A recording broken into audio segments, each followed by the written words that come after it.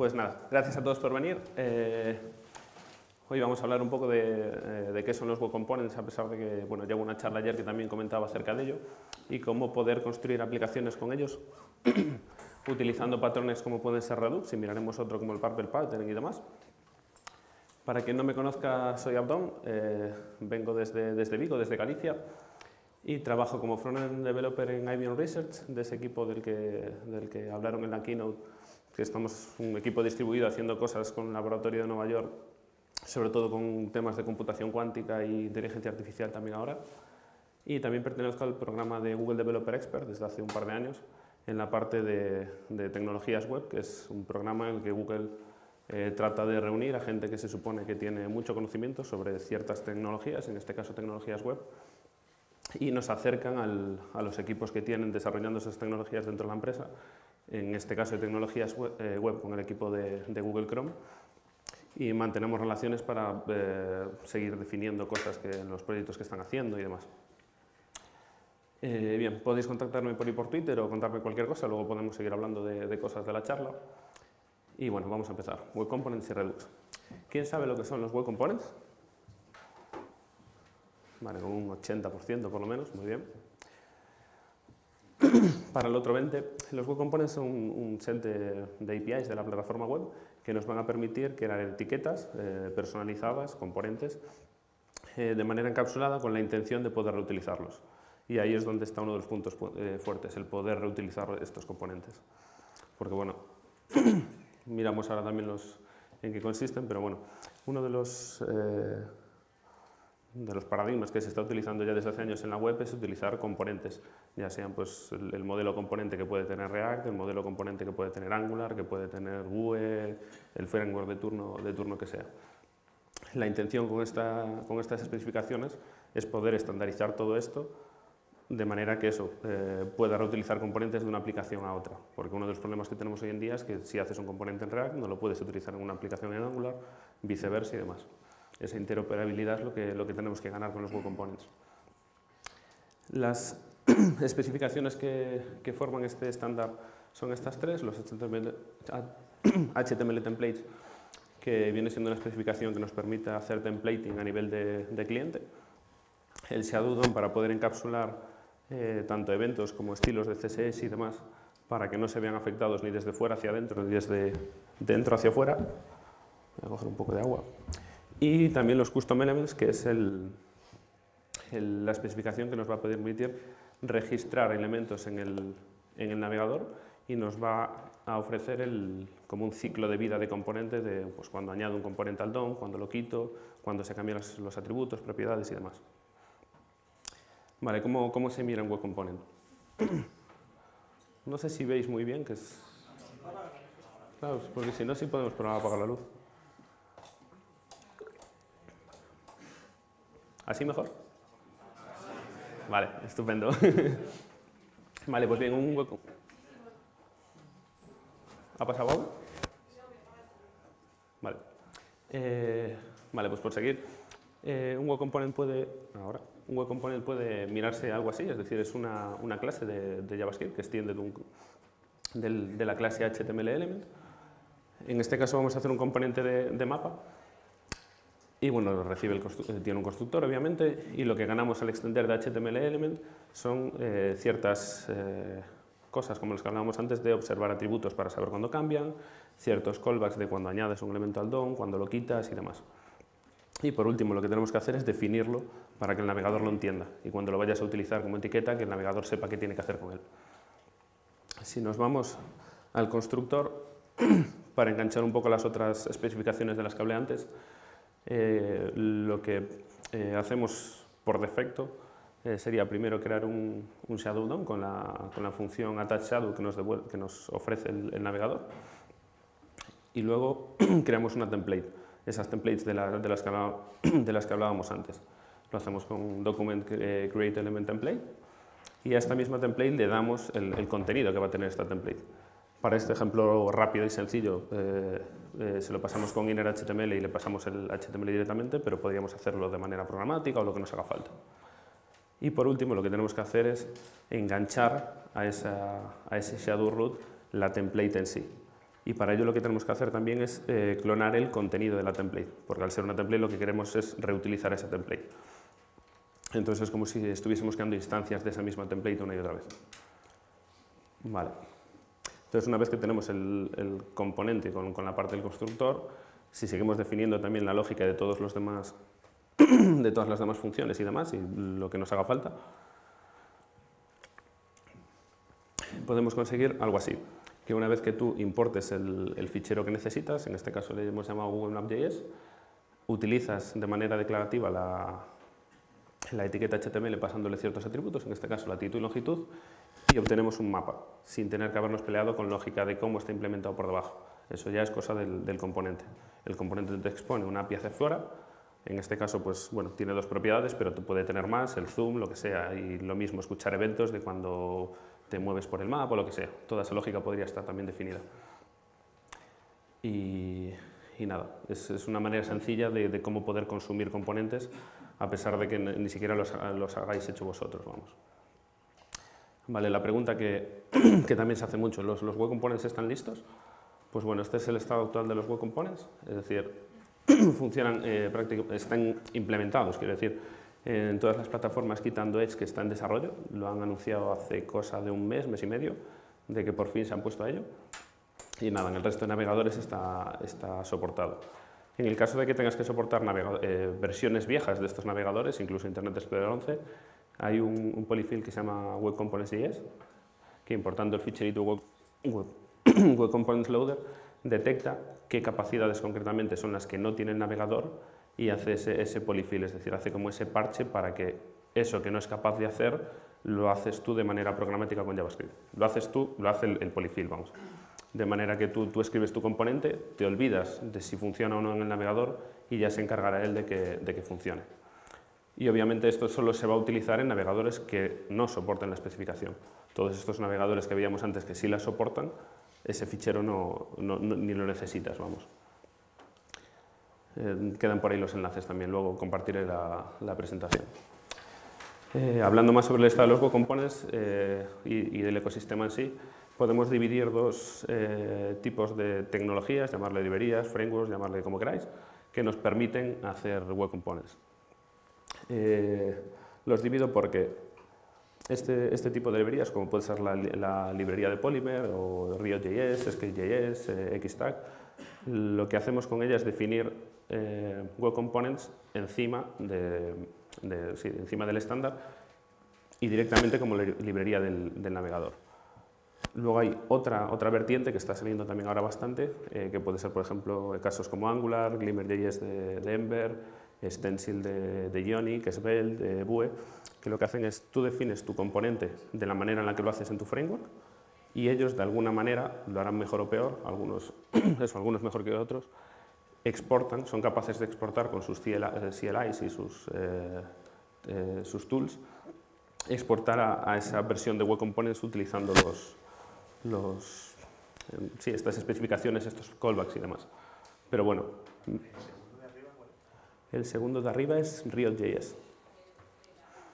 Y, y, eso, me gusta bastante más la vertiente de arriba y explico, explico por qué. Otra de las cosas que me gusta de los web components es que además de, bueno, como estándar que es, si definimos las cosas como la parte de arriba, todos vamos a entender la misma manera de cómo funciona el componente. En cambio, en la parte de abajo, pues eso, cada framework define cómo considera que es su, manera de definir ese componente y, me gusta más la de arriba porque nos entenderíamos todos mucho mejor como, como desarrolladores. Eh, luego también hay otra web, eh, Custom, Elements, Custom, Elements, Everywhere, que lo que hace es eh, ejecuta unos test sobre un porrón de frameworks, sobre un montón de ellos además, y te dice la compatibilidad que tienen la especificación de Custom Elements con el framework en sí, para ver si escucha bien los eventos, cambia bien los atributos, las propiedades y demás. Y es, está interesante. Bien, construyendo web components. Aquí vamos a hablar de, dos librerías pequeñitas. Eh, esta primera para la parte del templating. ¿Quién sabe lo que es lit HTML? Vale, muy poquita gente, 10%. Bien, pues lit HTML es una, es una librería muy pequeñita, pesa como, no sé, 2, 3K, poco más. Y lo que nos va a permitir es crear eh, basado en esa especificación de los HTML templates, nos va a permitir crear plantillas de manera declarativa en, el cliente. Se ve tal que así, es decir, eh, importas eh, dos funciones, el HTML solo, solo exporta dos funciones, eh, una HTML, que es un literal template string, y la función render. Lo primero que hacemos es definir la función de, que va a crear nuestra plantilla, que en este caso pues, se llama sayHello y lo que devuelve, bueno, recibe un parámetro nombre y lo que devuelve es esa, esa, esa template, eh, eh, template eh, partial template creo que, que, se le llama, lo que devuelve. Y lo que se hace es utilizando los, los literal, literal strings de, JavaScript, defines las variables que, que, vayas, vale, lo tengo aquí, defines las variables que vayas a necesitar. Y eh, entiendo que el literal string sabemos todos eh, lo que es de JavaScript, ¿sí, no? Pues dentro de los literal strings, de, los template strings de, JavaScript, hay otra cosa que quizá no se conoce tanto, que son los tag eh, template strings, que es esa palabrita que ponemos delante, en este caso HTML, y eso es una función que se va a ejecutar sobre el string que viene después. Y esa función que tiene de especial, que nos va a dividir la parte estática de la parte dinámica de ese, de ese, de ese string que le estamos pasando. Es decir, nos va a devolver, eso, por una parte todos los huecos eh, que no van a cambiar nunca y por otra parte un array con todos los valores de las, de las variables que tenemos. ¿Por qué eso es muy interesante para hacer eh, templating? Lo vamos a mirar aquí. Eh, esa template se la devolvemos a la función render y le decimos dónde va a tener que renderizar, en este caso document body es un ejemplo. Y aquí llega la parte interesante. Cuando tú vuelves a hacer un render sobre, sobre, ese, esa misma, sobre ese mismo sitio, como él eh, internamente ha separado la parte estática de la parte dinámica y sobre la parte estática ha creado ese HTML template, que es la parte que se reusa constantemente, él sabe concretamente dónde están los huecos, los, los holes, como le queremos llamar, de las partes que pueden cambiar en algún momento, esas partes variables. Entonces, sin necesitar un, un virtual DOM como tal, solamente con, cómo funciona el navegador por debajo, podemos cambiar exactamente los huecos que ha cambiado con un render, a pesar de eso podemos ver ejemplos más completos, más eh, complejos, de que en vez de una variable tenga pues eso, eh, un árbol entero con iteraciones, lo que sea, y va a saber qué sitio concretamente tiene que cambiar, sin el overhead de tener un virtual DOM entero, una copia del DOM, eh, por otro lado, vamos se vería así y esto lo vamos a, hablo de ello porque lo vamos a utilizar en una clase que se llama Lit, eh, Element, que lo que hace es juntar las, las especificaciones del, de los web components y lit HTML para hacer la parte del rendering y luego tiene una, una pequeña parte de, de sincronizar los, los las propiedades y los atributos de, de JavaScript y de, y de, HTML para que no nos tengamos que, que preocupar por ello, que es una pelearse con los getters y setters, vamos. Ah, vale, si lo tenía aquí ya ni me acordaba. Eh, eso, también te lo, pone aquí, también te, toda esa parte que veíamos de generar el, shadow DOM, el shadow root, eh, meter la template y todo eso es lo que nos viene dado por, por esta librería. Entonces es hacer el setup de las eh, propiedades y por último también la parte de, de, reaccionar a los cambios. Es decir, por cómo funciona el element por debajo, en el momento que cualquiera de las propiedades que has definido tú en el, en el componente cambien, ya se encarga él de, llamar a la función render, que, miraremos ahora, y cambien, los, eh, cambien justamente las cosas que deban de cambiar. ¿Cómo utilizamos LeetElement? Eh, pues nada, lo importamos, es una clase, extendemos de ella al igual que extendíamos de HTML element, la, añadimos al, al, registro de los custom elements de la misma manera, esto es exactamente igual, es la, las APIs del navegador, y lo que nos ofrecen son estas dos cosas el static get properties, que es donde vamos a definir las propiedades, y la función render, que es donde le vamos a definir nuestra template. Entonces, por un lado definimos, el, eh, en este caso, una propiedad de referencia, que va a ser un string, y por otra parte eh, devolvemos la template en la función render, que como vemos tenemos otra vez lo mismo. El, tag template HTML, que es lo que nos da el it HTML, y la template que, le damos. También podéis ver que en la primera línea estoy metiendo un style, ese style ya está contenido dentro del Shadow DOM. Entonces no, se va, no, va a colisionar esos estilos y, si hubiese pues, eventos o demás cosas, no, no se van a chocar con, con, las demás cosas que tengas en, la página web. y defines las variables pues, de manera eh, igual que en, los literal eh, strings de, JavaScript. No es ninguna sintaxis nueva, no es nada que tengas que aprender, es algo que, es, del navegador. Y nada, se vería, se vería tal que así. Para quien le gusten los eh, decoradores, que es una especificación que ya viene ahí en camino hasta, en Stage 2, creo, Stage 2, 3, no sé, en el TC39, puedes utilizar también decoradores para tratar de simplificar un poquito más el el código pues, es un custom element para no tener que llamar al define abajo y un, decorador de propiedad para declarar ya las propiedades que necesites. Vale, otra cosa que, me gusta mucho de esto es que ese mismo código que, hemos escrito hasta ahora lo ponemos dentro de un módulo de JavaScript, es, script module, y lo utilizamos aquí debajo, eh, si podéis eh, ver, eh, si sois capaces de verlo, porque igual es muy pequeñito, abajo de todo pone myElement, conference, el nombre de la conferencia, commitconf, el elemento y de hecho he puesto otro párrafo con otro spam para, para mostrar que no, se, que, no colisione el spam de arriba con el spam de abajo. Y este, es, ese mismo trozo de código, eh, bueno, no lo, he señalado, pero bueno, he cambiado, lo único que he cambiado es esta parte de aquí arriba, que es el import, eh, llamando a unpackage, eh, unpackage.com, que es un, CDN de paquetes de, NPM, para no, tener que instalarlo. Entonces, pegando este código en el, navegador directamente, sin hacer nada más, sin tener que hacer un build, ni un bundle, ni transpilar, ni tener que hacer nada, esto ya funciona. Y funciona en Chrome, funciona en Safari, funciona en, funciona en Firefox, funciona en todos los navegadores que hemos visto antes. Y de todas formas, importando el Web Components Loader que, también veíamos, eh, funcionaría eso hasta Internet Explorer 11 sin problema. Y, eso, sin tener ningún paso de, ni de bundle, eh, ni de build, ni de bundle, ni nada por el estilo. Es, funciona en el navegador. Y bien, ahora vamos a la parte de, construir aplicaciones. Vamos a ver un par de patrones. El primero del que quiero hablar es el Purple Pattern, eh, que es un patrón para construir esas progressive webs que tan de moda están, haciendo mucho hincapié en el, en el performance. Eh, está basado en estas, en estas cuatro palabras, push, render, precache y lazy load con la idea de que primero hagas push con HTTP2 de los recursos que sabes que vas a necesitar en las, en las, en las rutas a las que vas, render para pintar rápidamente la primera, esa, initial route, es decir, la, ruta a la que vas. Luego tenemos el precaché, que es eh, también con, los service worker, otra de las nuevas cosas del navegador. Eso, hacer eh, precaché de las, de las demás rutas a las que sabes que, que puedes consultar después y lazy load eh, para cada vez que vayas a una de esas rutas traerte los ficheros que, vayas necesitando. Para, eso, eh, para esa última parte lo hacemos directamente con los imports, de, con los imports dinámicos de, JavaScript, es otra de las cosas que también están estandarizadas.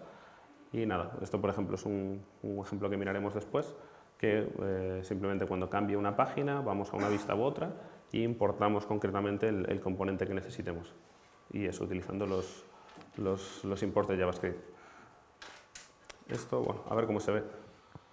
Pero eh, esto es, un, es, una, de las templates que hay eh, para, hacer, para seguir este, este tipo de patrones. Y a ver, así se va a ver un poco mejor. Lo que hago de, las llamadas que se hacen dentro del, navegador y podemos ver que las primeras eh, tres que se hacen, si veis por aquí, se está especificando que, esos, esos ficheros eh, se están enviando al navegador antes de que el navegador los consulte, utilizando eso HTTP2 push, que en este caso va a ser pues, como el contenedor de la aplicación, la vista y el Web Components Loader, del que hablábamos antes. El siguiente paso, eh, bueno, una vez que tengamos eso, eh, pintamos ya la, hacemos el render de, la ruta, hemos hecho el push, hemos hecho el render y ahora pasamos a la parte del precache, que si nos fijamos el service worker aquí es el que está haciendo fetch de las, y aparece también aquí el engranaje, de las eh, dependencias que nosotros consideramos que vamos a, necesitar después en, siguientes rutas. Y entonces en el momento que cambiamos a una vista diferente, nos aparece aquí la siguiente, con, ese dynamic import que hemos hecho, eh, nos traemos el, fichero de la siguiente vista, entonces podemos ver aquí de dónde viene ese fichero. Ya ni siquiera va a ir a, internet a pedir ese fichero porque ya lo tiene precacheado en el, en el, en el service worker. Y de, la misma manera, cuando volvemos, por ejemplo, eh, cerramos el, navegador, volvemos mañana a la, misma web, podemos ver que cuando empezamos a pedir los ficheros en cualquiera de esas rutas en las que hemos estado, todos esos ficheros ya vienen de los service worker y ya no tienes que volver a llamar. Está todo cacheado y no, y de hecho sí, se va a ver muy pequeñito, pero incluso las requests aquí bajan bastante y lo mismo el, tamaño de, de, transferencia. De hecho, si vemos ahí, 5,6K, vale, de 256K que hemos transferido en la, en la, primera llamada, hemos pasado a, en la misma ruta con los service workers pasar a 5,6K, es decir, prácticamente nada. No lo comenté antes, pero también la librería lit element, si hablamos de que lit HTML son alrededor de 2-3K, lit element ya con lit HTML eh, incluido, son alrededor de 5. Es decir, también es otra librería muy, muy pequeñita. Vale, más cosas para... Esto es pues, hablando de, patrón de cómo construir la aplicación. Y ahora, como utilidades que vamos a necesitar para hacer las aplicaciones, pues una de ellas necesitaremos un, routing para hacer una aplicación de cliente. Uno de los routing que me gusta bastante porque son eh, framework agnostic y, engancha muy bien con los web components es un router de, de, Badin, una empresa que hace también bastante trabajo con, con web components y, de manera open source en, abiertos en la comunidad. Y tiene una manera bastante sencilla de, utilizarlo. Nada, importas el router, defines dónde se va a, renderizar, dónde se va a mostrar el, contenido de, de, nuestra, de nuestra web. En este caso pues le decimos que va a ser en este, en este elemento y nada, seteamos ya las rutas haciendo el matching de, vale, en esta ruta, en la ruta principal me vas a pintar el web component que se llama XHomeView. En la ruta user me vas a pintar el componente X eh, user list y ya se encambia él de, ir cambiando lo que necesite. Y bueno, esto es como el ejemplo sencillo, tiene pues middlewares, tiene mm, para poder enganchar animaciones, tiene muchas funcionalidades más. Y luego también otras de las eh, eh, cosas que necesitamos cuando hacemos aplicaciones, quiero verlas con, estos helpers. Entonces, por ejemplo, eh, esta es otra alternativa de routing, pero es un routing súper, súper pequeñito y sencillo, que es nada, tú instalas el router y lo que, le, lo que le das a ese router es una función que se va a ejecutar cuando el, la, la, URL cambia. Y ya tú te tienes que encargar de qué es lo que quieres hacer en tu web. Por eso es un routing, pero súper, súper sencillito. Otro, otro de los helpers, saber si estás eh, conectado a Internet o no pues lo mismo, te instalas el, watcher de, si estás offline y también le pasas una función y vas a recibir si estás online, offline o demás. Otro de los, de los helpers, instala el Media Query Watcher, es, funciona de la misma manera, te instalas el, helper, le dices eh, qué es el, el, el media query que quieres escuchar y en el momento que, que, cambie, que cambien los media queries, puedes ver si, si hace macho, ¿no? es decir, si estás justo en donde, en donde esperas estar y ya pues hacer la, lógica cambiar, por ejemplo, esconder un, un lateral, un menú, lo que sea. Otra de las funciones también muy eh, interesantes para la parte del SEO, porque claro, haciendo aplicaciones single page application, pues eh, necesitamos cambiar el metadata de las, del, del HTML, pues los títulos, el, las descripciones, las URLs, todas estas cosas pues esto es una función que le pasas eso, título, descripción, eh, imágenes y tiene algún par de propiedades más y él se encarga ya de cambiar los, los nodos en el HTML del, en el head correspondientes. Y bien, ahora llegamos a la, a la parte de, eh, Redux. ¿Quién conoce lo que es Redux? Más también todo el mundo. ¿Quién utiliza Redux? ¿Vale? Ser un 30-40%.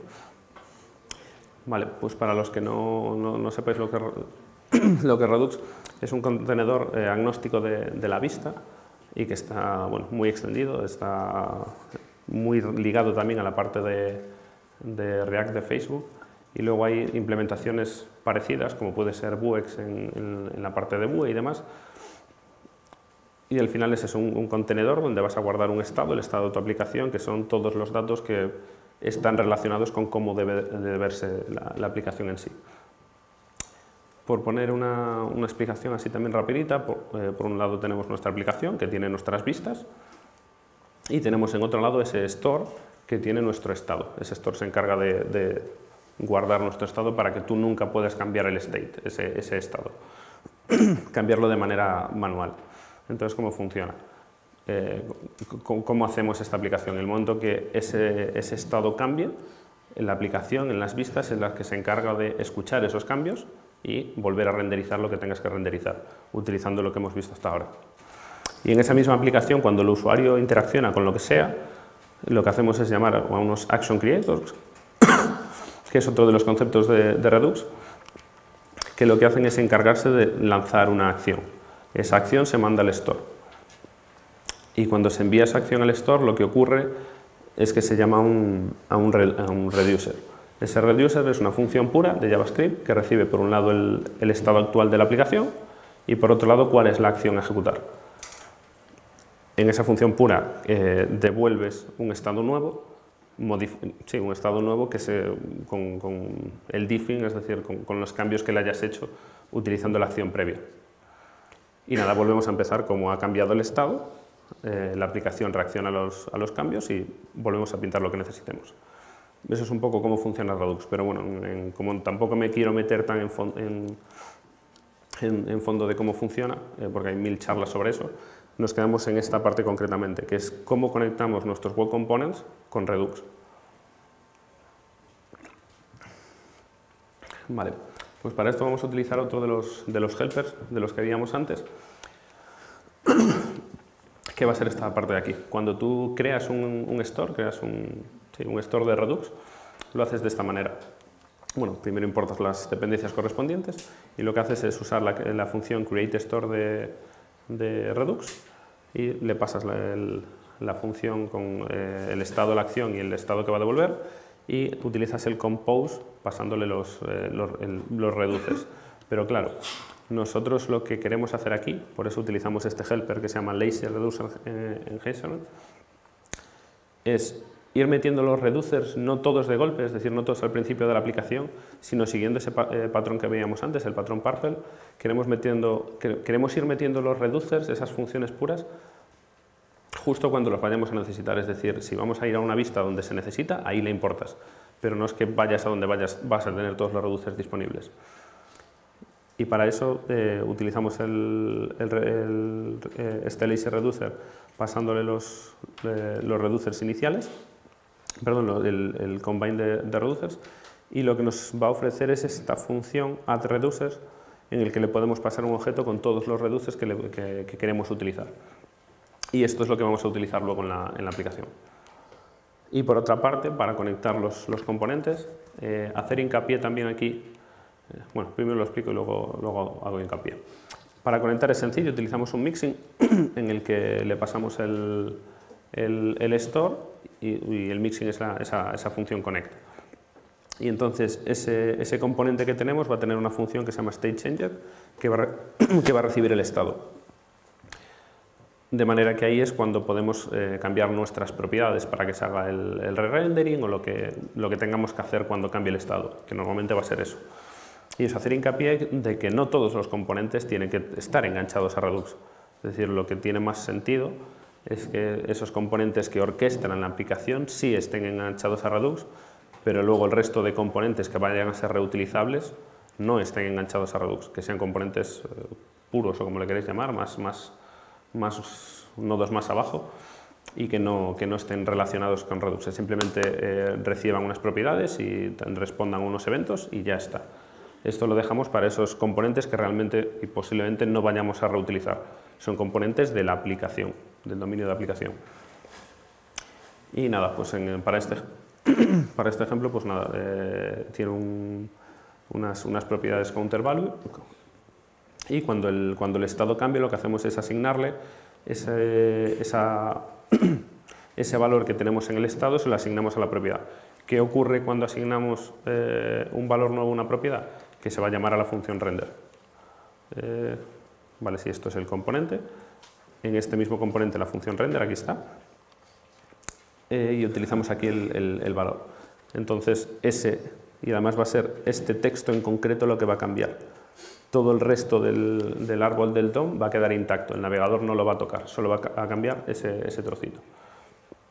Y de la misma manera, bueno, esto es una pequeña sintaxis de, del HTML utilizando la arroba es para poner eventos. Pues en el caso de, hacer clic en estos dos botones, al final esto es un counter, eh, llamamos a, la función dispatch de, Redux, que es la manera de lanzar esos action creators de Redux, y le decimos la acción que tiene que, llamar, que tenemos aquí, aquí, arriba importadas las dos acciones, una de incremento y una de decremento, para cambiar ese valor a más o menos, no tiene, no tiene más. Y vale, por último, eh, como veíamos antes, eh, cuando, cuando utilizamos esta, en esta vista, tenemos los, eh, los, sí, los dos, las dos acciones y importamos concretamente los reduces que vamos a necesitar, es decir, vamos a, utilizar los, los reduces del, del counter. Vale, para medir lo bien que o lo mal que estamos haciendo todo eso, vamos a utilizar una herramienta que se llama Lighthouse. ¿Quién conoce lo que es Lighthouse? Vale, el resto debéis de conocerla porque... Ahora la, pondremos una, captura de ello también, pero bueno, es una herramienta que te permite hacer auditoría eh, automática, la puedes enganchar de hecho con, con Continuous Integration o lo, que, o lo que necesites. Y lo que te devuelve es, bueno, aquí hay un pequeño pantallazo, son muchas más métricas, te devuelve unas, eh, unas métricas, una auditoría de diferentes cosas, pues en este caso concreto lo, que sale en, pantalla es, la, es, una de la parte de performance y te dice pues eso, cuando ha sido el, first eh, eh, contentful paint, que es cuando se empieza a pintar la página, te salen las capturas correspondientes de en qué, bueno en esta ya, no se ve, pero incluso te salen los, los segundos en los que se va a ir pintando y demás, y bueno, te da un montón de métricas y valores de eh, basado en, estándares de la web si lo estás haciendo bien o lo estás haciendo mal. Tiene aquí una, escala de, puntuaciones. Y de la misma manera que te lo da de performance y demás, pues tiene otros conceptos de accesibilidad, buenas prácticas, SEO y demás. Vale, para seguir, bueno, esto es el resultado de, utilizar todas estas cosas de, las que hemos estado hablando. Eh, tenemos un performance de 95, es decir, estamos pintando, esto es con, con un Nexus 5 simulado, eh, en, en, esto estaba en, en 3G lento, creo, no en 3, sí, no recuerdo ahora mismo. Y el, el, primer pintado de la página lo tenemos eso, en 2,3 segundos, es decir, se pinta muy, muy rápido, por, eso, por ese patrón que hemos seguido de traernos únicamente lo que necesitamos, pintar rápido y luego ya ir cargando cosas por detrás en función de a dónde vayamos a ir. Y también mencionar que aquí, por ejemplo, no estamos utilizando ningún tipo de service rendering, se está haciendo todo a cliente. Y yendo todo a cliente estamos eso, obteniendo resultados de, carga súper rápidos.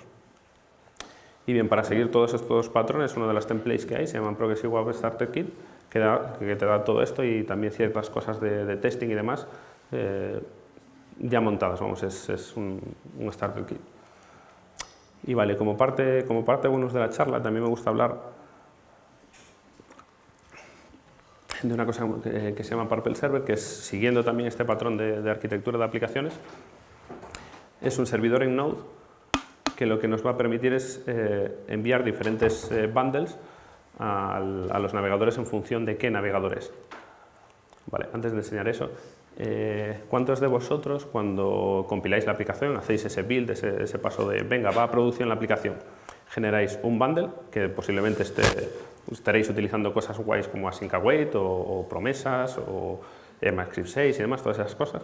Pero claro, cuando también tenéis que soportar navegadores que, no soportan todo eso, utilizáis un montón de plugins de Babel que, que, transpilan vuestro código a donde tenéis en vez de 50 líneas pasáis a tener 150, 150 porque ha eso, transpilado ese código para que los navegadores viejos lo entiendan. ¿Cuántos de vosotros hacéis un build y ese mismo build se lo enviáis a cualquier navegador? Vale, entiendo que el resto enviáis diferentes builds en función del navegador. ¿Quién hace eso? Vale, curioso. Entonces, ¿el resto qué hacéis? ¿Cuántos desarrolladores hay en la sala? el taller de cocina este no. Eh, bueno, pues en el Purple Server lo que queremos hacer es justo eso. Ir enviando a, un navegador u otro esas capacidades que, que soporta. Porque uno de los problemas, eh, podemos también verlo después, no, lo contemplo en esta charla, pero uno de los problemas que, tenemos hoy en día es que como tenemos que soportar eh, muchos navegadores eh, que van en móvil, donde los recursos son bastante más pequeños, el tiempo de, parsing, compiling y demás que, tiene que hacer el navegador para ejecutar JavaScript es eso, interpretarlo, parsearlo, ejecutarlo y demás, es bastante caro, por decirlo de alguna manera. De hecho, bastante más que, por ejemplo, decodificar una imagen o cosas por el estilo. Entonces, cuanto menos JavaScript enviamos al navegador va a ser mucho mejor, mucho más eficiente. Y, eh, por ejemplo, eso, ECMAScript 6 tiene sintaxis que eh, el navegador va a ejecutar obviamente mucho mejor que una sintaxis transpilada para dar soporte a Internet Explorer 11. Entonces lo que hacemos aquí es, por ejemplo, eh, tenemos a, Chrome y, a, Firefox que soportan las capacidades de ECMAScript 6 y que además soportan eh, el server push del que hablábamos antes de HTTP2, que nos permite enviar ficheros al navegador antes incluso de que él los pida. Entonces enviamos un bundle que está separado en más ficheritos en los que enviamos de, esa manera por, push y que está sin transpilar. Está utilizando todas esas whys de async await, eh, promesas y todo, todas esas funcionalidades. Luego podemos hacer otro grupo. Todo esto eh, es, un ejemplo, pero esto lo, puedes configurar como, como tú quieras. Eh, en Safari y en Edge, que sí soportan todas esas capacidades why de EMAScript 6, pero no tienen soporte a, server push. Aunque Safari no estoy seguro ya de si lo ha metido. Pero bueno, y enviamos ese, mismo, ese mismo paquete muy parecido al anterior, donde enviamos esas nuevas capacidades al, navegador, pero obviamos esa parte de HTTP 2 eh, push. Y por ejemplo, cuando nos tenemos que ir a navegadores más viejos, donde todas esas cosas modernas no funcionan, entonces ahí, y solo ahí, solo se va a penalizar a ese navegador, enviamos ese chorro compilado de Babel que va a ser más lento de ejecutar y obviamente sin nada de, HTTP2 push porque tampoco se soporta. Y aquí también es donde podemos entrar a la parte de, los crawlers y a esa, parte toda de SEO.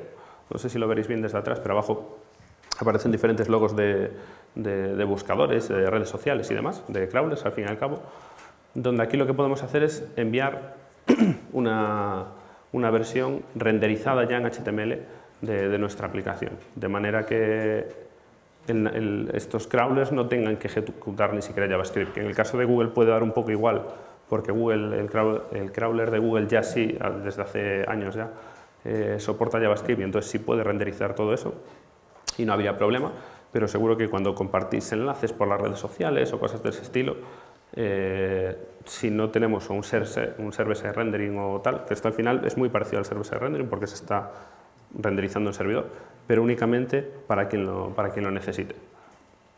Y entonces podemos eso, aprovechar todas las cosas, sí, utilizar todas esas cosas nuevas sin penalizar a, no sé, porque al final tendréis aquí, no sé qué porcentaje tendréis dependiendo del proyecto y de la empresa, pero a lo mejor tenéis aquí un 5, un 10% echando ya por fuera de usuarios y estáis penalizando a todos los usuarios que sí soportan todas esas capacidades por un 5 o 10%.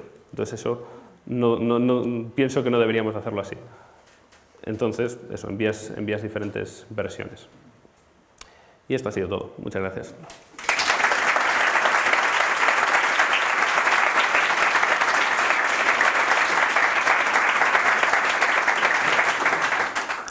Si tenéis preguntas, encantado de charlar.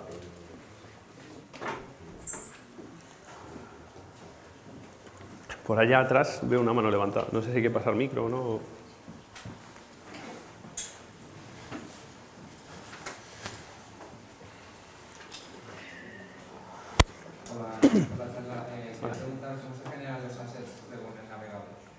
¿Cómo se generan los assets? Sí, con el paso, de servidor. No entiendo bien la pregunta. ¿Por dónde vas? Por ejemplo, para Edge se manda un Sí, ¿vale? Vale, eso lo haces tú. Es decir, en tu, en tu paso de, de, build, no sé qué usarás. Usarás Webpack, usarás Rollup, usarás... Vale, pues con Webpack también puedes eh, emitir varios bundles. Entonces, eh, este servidor, por ejemplo, no se encarga de hacer el build. A este servidor lo que le dices es, aquí tienes el build para estos navegadores, aquí tienes el build para estos, aquí tienes el build para estos. Entonces, en tu, en tu paso de build, generas los que necesites. Nada.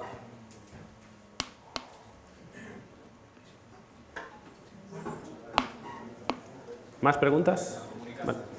hay otra aquí. Digo que la comunicación entre web components independientes, si tienes en el Shadow DOM, ¿Sí? yo accedo al DOM general. Te preguntaba por la comunicación entre los web components. ¿Sí? Yo meto 18 web components. ¿Sí? Quiero a uno, el número 5 hace ¿Sí? una cosa y quiero que haga cosas el número 8. ¿Sí? ¿Cómo se hace ese compartir? Pues en, en, este caso, por ejemplo, utilizando cosas como Redux, te olvidas un poco de eso, porque al final lo que haces es, eh, cuando lanzas una acción, por ejemplo, lo que haces es cambiar el estado y como ese otro componente, o ese, sí, ese otro componente, aunque estén en niveles totalmente diferentes, va a estar pendiente ya de los cambios que se reflejen en el estado y ya va, ya va a hacer lo que tenga que hacer, vamos. Eso lo hacen a nivel del DOM general de la página. Digo, ¿cómo puedes escuchar Depende cómo lo organices. Normalmente, eso, con, con este tipo de aplicaciones, en las vistas es donde eh, escuchas el cambio de estado y luego te comunicas eh, por eventos hacia arriba, es decir, un componente hacia arriba se comunica por eventos y del componente hacia adentro te comunicas por propiedades, dándole valores a las propiedades. ¿Responde? Vale. ¿Más preguntas? Pues muchas gracias.